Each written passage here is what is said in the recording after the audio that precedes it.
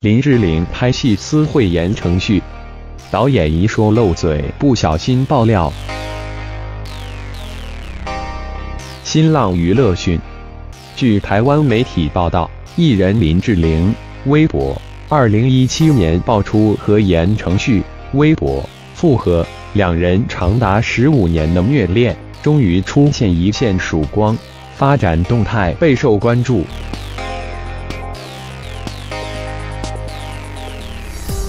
他近日参加大片《西游记女儿国》的演出，跟着剧组到处宣传。在香港受访时，被问到绯闻男友是否有来探班，竟被导演郑宝瑞微博大爆料，再度引起关注。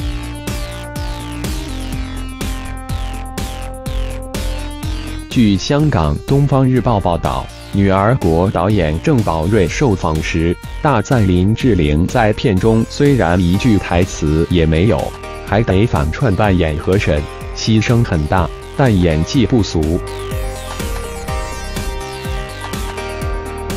随后，他接着被问到志玲姐姐的绯闻男友言承旭是否有来探班，先是连声否认，没没没，真的没有。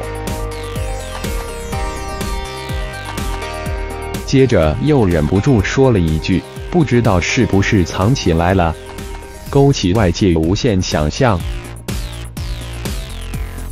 郑宝瑞透露，林志玲这次在剧中饰演男性角色河神，虽然剧照尚未曝光，但她表示希望观众花钱看电影，不是只能看到演员漂亮的外表，而是能真正投入故事剧情。